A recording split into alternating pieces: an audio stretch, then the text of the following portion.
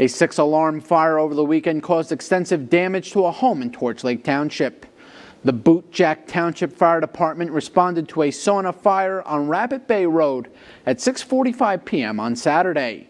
25 mile per hour winds caused the fire to spread to the nearby home. Fire crews worked on site until 3 a.m. Sunday and were called back out at 7 a.m. to put out hotspots. The sauna was a total loss and the home suffered extensive damage. No one was injured.